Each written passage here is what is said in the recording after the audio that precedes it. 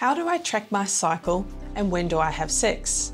Now, these are the questions that couples ask when they're trying to fall pregnant, and it's just not that easy. Some couples click their fingers and they're pregnant, and for others, it's much harder. And finding out when you're actually releasing the egg, when you're fertile, is really helpful. Welcome to Fertile Minds. My name is Dr. Fleur Cattrall, and I am a Melbourne IVF fertility specialist. I have been helping women and couples fall pregnant for nearly 20 years. Today, I'd like to share with you some of the tips on how to get pregnant. Women ovulate one egg a month, so that's only 12 eggs in 365 days, and the egg only lasts for 24 hours. So it's no wonder that this is difficult. The typical ovulation cycle is 25 days in length. And the classic textbook would say you ovulate on day 14. But in fact, some women will ovulate a little bit later than that, and some a little earlier. And some women have long cycles 35 days, 40 days, and some women have 25 days cycles. So there's quite a range when that egg can be re uh, released every month. So one way to track the fertile time is to uh, record your cycle length. So if it's 20, 28 days every month, then you know the target point is around day 14 or 28 days minus 14. But some women, they'll ovulate a little bit later than day, day 14 in a 28 day cycle. So it might be 28 days minus 10. So you might uh, be ovulating somewhere between day 14 and day 18. So women will do various things to try and pick this fertile time. Some women will look at their cervical mucus and if it's stretchy, then they'll have sex around that time.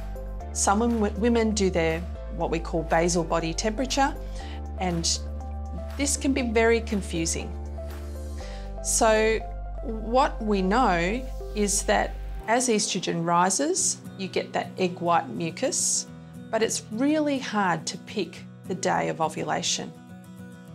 So having sex every couple of days leading up to ovulation will help uh, make sure that sperm is available at every possible opportunity that that egg is released. Don't worry about the cervical mucus, it's a very difficult sign. Progesterone is a thermogenic hormone and that will rise after ovulation and you can pick that up with the urine, uh, with the temperature testing every morning, uh, but it will only rise after the egg's no good. So don't worry about that either. Have sex every couple of days leading up to that day 14 uh, or if you have a 35 day cycle, minus 14 from 35 and have sex around about day 21, but have sex every couple of days leading up to ovulation. But the urine ovulation tests are the best predictor of when that egg is going to be released. Every morning leading up to ovulation, you do the first urine sample of the morning. And when you get that positive OPK, as we call it, then have sex that day, the next day, and the day after. Women need to become familiar with their own cycle. The best way to do this is actually with one of the fertility apps, and there's many around. So record your day one, the first day of your period, in the fertility apps, and these will calculate a window, a fertile window so this is the time we think the egg will be released. Now one of the problems with the apps is they're calculated by a standard when the egg is released, it's 14 days until your period. But for some women, it can be a little shorter than that from ovulation until their period. It can be as short as 10 days.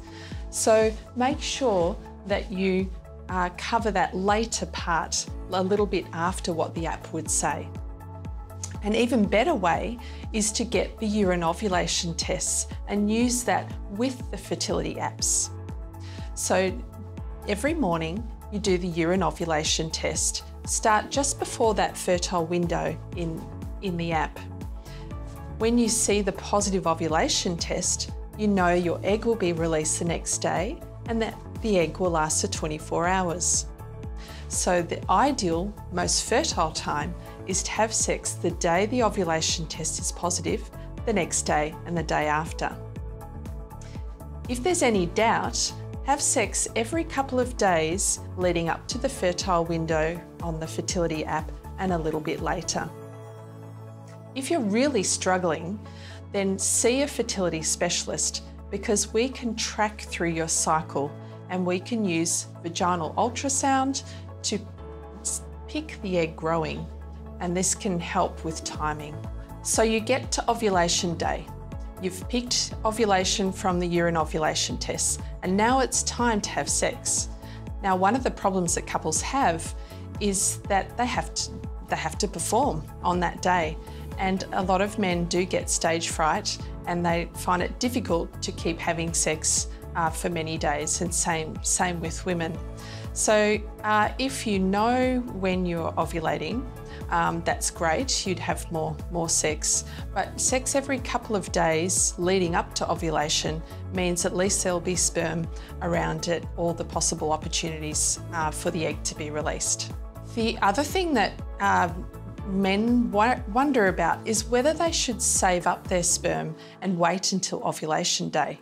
But in fact, this is not the best thing to do.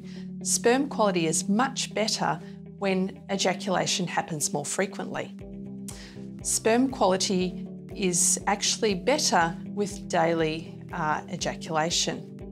So we don't want men to save up sperm for a week before having sex. It is much better for sperm health to have sex every couple of days. I hope you found this video helpful. Remember, everyone has their own personal story and it would be really helpful to speak to your family doctor or a fertility specialist to discuss your own individual circumstances. If you have any questions about anything I've discussed, please leave a comment below. Take care and good luck with your journey.